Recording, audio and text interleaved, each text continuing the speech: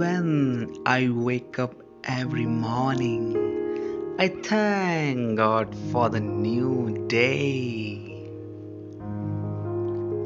God gave us the gift of life. It is up to us to give ourselves the gift of living well.